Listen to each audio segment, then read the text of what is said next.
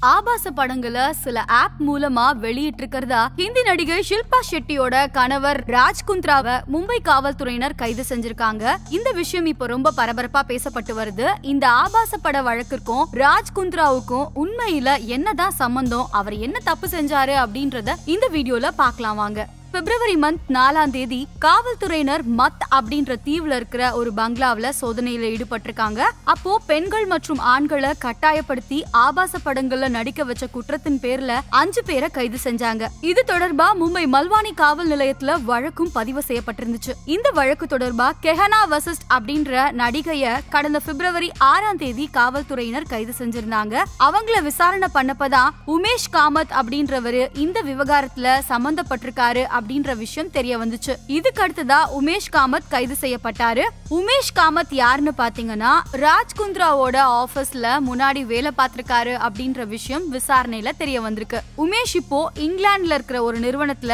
ஒருங்கிணைப்பாளரா வேலை பார்த்துட்டு வந்திருக்காரு. இவரு நடிகை வஷிஷ் கிட்ட இருந்து வீடியோஸ வாங்கி அத இவர் வேலை பார்க்கிற நிறுவனத்துக்கு அனுப்பி வச்சிருக்காரு. இந்த வீடியோக்களை என்ன பண்ணிருக்காங்கன்னா ஹாட் ஷாட்ஸ் அப்படின்ற ஆப்ல பதிவேற்றம் செஞ்சிருக்காங்க. அது மட்டும் இல்ல வஷிஷ்ட் எடுத்த எட்டு ஆபாச வீடியோக்களை குந்த்ராவோட அலுவலகத்துல இருந்துதான் உமேஷ் பதிவேற்றம் செஞ்சிருக்காரு. இந்த வழக்குக்குள்ள எப்படி ராஜ் குந்த்ரா உள்ள வந்தாரு அப்படின்னு பாத்தீங்கன்னா ஹாட் ஷாட்ஸ் அப்படின்ற இந்த ஆப்ப இங்கிலாந்தை சேர்ந்த கென்ரின் அப்படின்ற நிறுவனத்தை சேர்ந்த இந்த வழக்குல முக்கிய குற்றவாளியா கருதப்படுற பிரதீப் பக்ஷிக்கு குந்த்ரா வித்ததா இந்த விவகாரம் வெளிச்சத்துக்கு வந்திருக்கு. அது மட்டும் இல்ல வஷிஷ்ட் எடுத்த எட்டு ஆபாச வீடியோக்களை குந்த்ராவோட அலுவலகத்துல இருந்துதான் உமேஷ் பதிவேற்றம் செஞ்சிருக்காரு.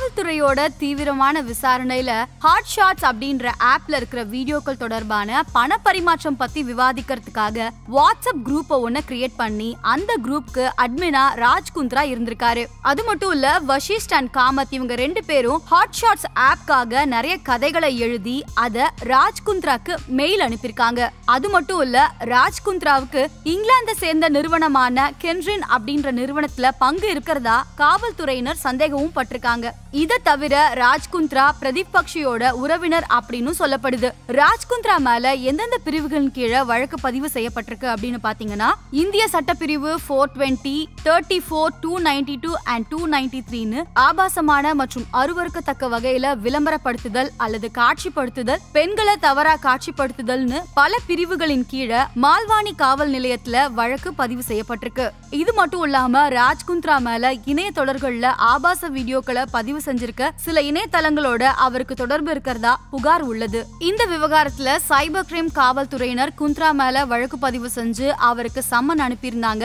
இந்த வழக்கு தொடர்பா நீதிமன்றத்துல கடந்த ஜூன் மாசம் குந்த்ரா ஜாமீன் கேட்டிருந்தாரு. இப்போ அந்த நிறுவனத்துல இருந்து தான் வெளியேறிட்டதாகவும் இணைய தொடருக்கும் தனக்கும் எந்த சம்பந்தமும் இல்லைன்னு ராஜ் குந்த்ரா சொல்லியிருக்காரு. ராஜ் குந்த்ராவோட ஜாமீன் மனு மேல நீதிமன்றம் அடுத்த வாரம் முடிவெடுக்கும்னு எதிர்பார்க்கப்படுது.